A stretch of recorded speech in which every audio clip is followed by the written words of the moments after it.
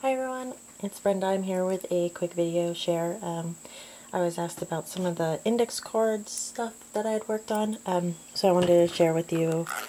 I have this container that I got that holds index cards. I believe I got it from the dollar store, the Dollar Tree.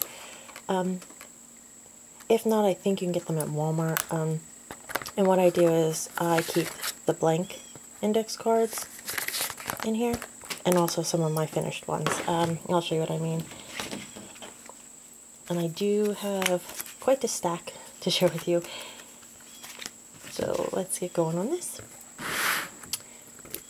I just took a ruler and sectioned this one off just to draw like different little patterns here because I had gotten bored wanted to do something different and I didn't finish it but I do like that it's unfinished it does give it some more character too but I can always go back and add more but there's one. And then I did a tiny square, which I took half of the index card. And just did some doodling on that. And I like using these, I mean, you could do full pieces. Those are great for cards or um, gift tags, you know, anything. But what I like to use them for is for um, doing them something like this. And that gives you room to write a person's name and address, and then you could stick this on a package or an envelope or whatever. So I use them as shipping labels, which I think is, uh, I like the idea of it. It gives a little bit of um, cuteness to your package. And here's another one I did with kind of more flowers.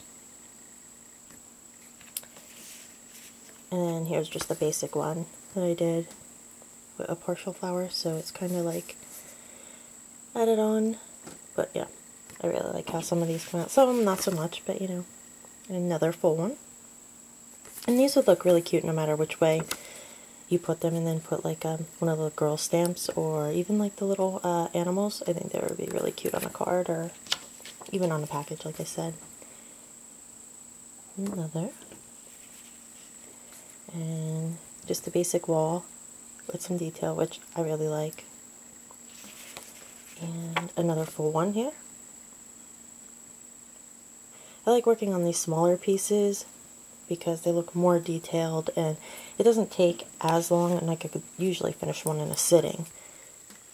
And I really, really like how this one came out. If you're watching my um, Friday series, I'm doing Doodle Days, I'm going to probably um, mix that up with any kind of like doodling, sketching, whatever. So it won't always be in that book. Maybe I'll do some index cards or whatnot. If you're interested in that, definitely let me know because I'll do it more frequently. Because I get tired of doing the bigger pages too. But this one could be used this way. I mean, on the side, that would look cute. Or even like that. And like if you get stuck for ideas, this was actually um, taken from a Star Wars fighter. it's like it was what I had in mind while I was doing it. And then I was uh, debating a while back, I did a Rolodex card challenge, and um, I was debating hand drawing all my own index cards and making a Zentangle one and keeping them that way. And I'm still kind of toying with that idea, but I'm, uh, I don't know.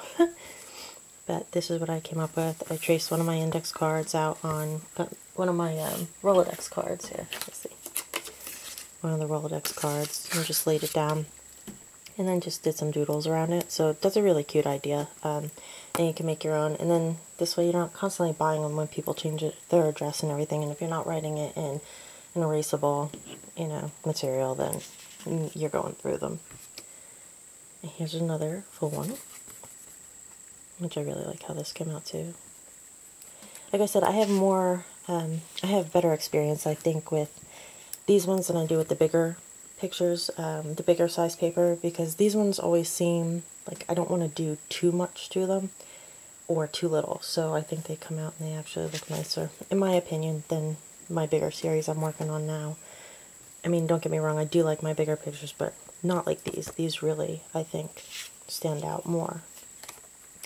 And I do use more black on these than in that book, so that could definitely be, you know, part of it, but I do like these little pieces better because they're perfect for your projects. You know, you can send these out to somebody um, and use them on your cards and whatnot, or your layouts, which will look good in Project Life or whatnot too. Because you can get the bigger cards for the 4x6. And there's a star there in the center. I really like how these come out. I know I'm going to be repetitious here. But no matter which way you orientate the card, I mean, it's kind of like not going wrong. I really like how they come up. And this one I did like with a cupcake-like type, which I thought was adorable. And this one here.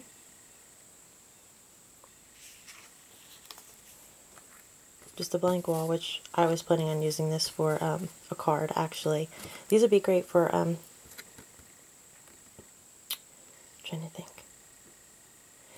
Even if you cut them down to size and stuff, they'd be really cute backgrounds for uh, pocket letters, too, or um, flip books. Sorry, I had to think there. And I like this one too. It has like the streaming strobe lights coming from the side, but they're more like webs, which I really like. We're getting down to the last few here. And this one. But yeah, my main purpose behind making these um, originally was for um, shipping labels. So there's a little bit more detail oriented to label, uh, to envelopes and because I was sending out birthday cards like crazy there for a while.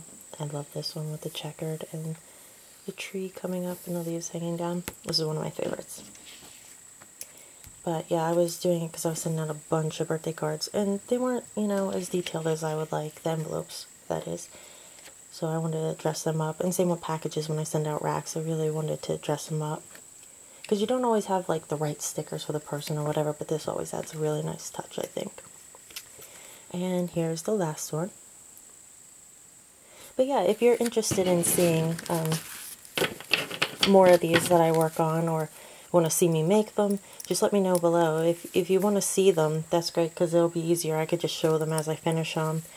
Um, but if you want to see me make some, let me know that. And then I can film myself working on them as soon as I get a chance. Okay? But I will talk to y'all later. And I hope you give it a try. If you do, definitely tag me in it so I can, or message me or whatever, so this way I could come and check yours out too.